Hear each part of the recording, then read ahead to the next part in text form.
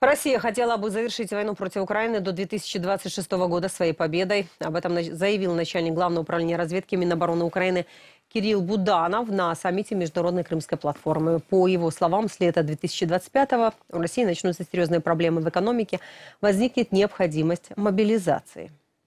Вони всі прогнозують, що всі проблеми у них почнуться влітку 25-го року. Они прогнозируют, что примерно в период лета 2025 года негативное влияние на экономику начнет быть очень ощутимым для их страны. С этим, кстати, связано множество процессов, которые они пытаются сейчас ускорить в своем государстве. В этот период они столкнутся с дилеммой. Либо объявлять мобилизацию, либо каким-то образом нужно немного уменьшать интенсивность боевых действий, что для них может быть, в конце концов, критическим.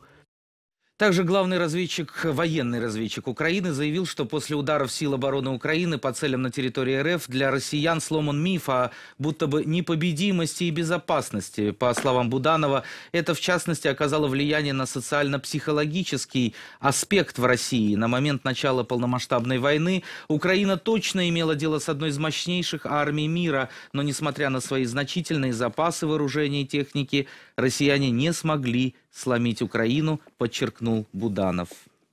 Наша змога перенести Наша возможность перенести боевые действия на территорию России, я бы здесь сделал акцент на способности нанесения ударов вглубь территории Российской Федерации. Это первое. И на самой философии этого. Это немного изменило мировоззрение. И вот с первыми взрывами в Москве на территории РФ этот миф был разрушен. Он взорвал всю основу. Это и есть главное достижение этих всех, как говорится, дальних ударов. Излом веры народа, что они живут в безопасности. Это не так.